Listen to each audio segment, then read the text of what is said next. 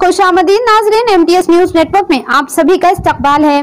लंगर house police station हदूद में एक बेरहबाना अंदाज में कत्ल की वाकयात पेश आया। तफसीलात के मुताबिक लंगर हाउस पुलिस स्टेशन हदूद के गोलगुंदा के इलाके कंचर से ताल्लुक रखने वाले शेख फरीद का नामालूम अफराद ने बेरहमाना अंदाज में कत्ल कर दिया।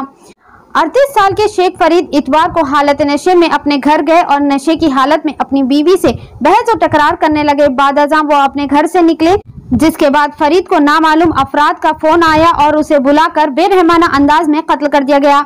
ये कत्ल की वारदात पुलिस स्टेशन के कुछ दूरी पर ही पेश आई। ये नामालूम अफराद ने फरीद को मौलिक हथियार से कत्ल कर दिया और उसकी लाश को ऑटो में डालकर वहाँ से फरार हो गए। इतला मिलने पर लंगर हाउस पुलिस मुकाम वारदात पर पहुँची और लाश को पोस्टमार्टम के लिए उस्मानिया हॉस्पिटल मुंतकिल कर दिया और साथ ही एक केस दर्ज करते हुए मुजरिमों की तलाश शुरू कर दी। आइए देखते हैं ये खास रिपोर्ट हर अहम और खास खबर के लिए हमारे news channel M T S news network को यूट्यूब पर सब्सक्राइब करें फेसबुक पर लाइक करें इंस्टाग्राम और ट्विटर पर फॉलो करें।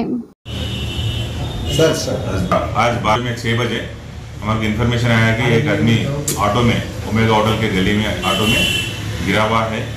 तो हमारे पेट्रोल बीसी कार वाले जाके चेक करे तो बॉडी जब तक वो आदमी मर गया है, उसका डिटेल लिए तो क्या है, उन्होंने फरीद, शेख फरीद बोल के गोलकुंडा वाला है, उम्र थर्टी सिक्स ईयर्स है।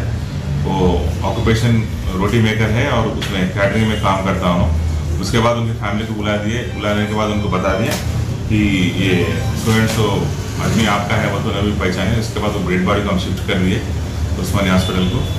और तहकीकत कर रहे हैं कि वो क्या वजह है उनको मारने का कौन मारे बोल के हमें तहकीकत कर रहे हैं। जल्दी एक दो दिन में भी आपको हम बोलेंगे कि कौन क्या है क्या है अक्यूज कौन है और उसका मोटिव क्या है बोल के आपको फिर हम बुला के बोलेंगे।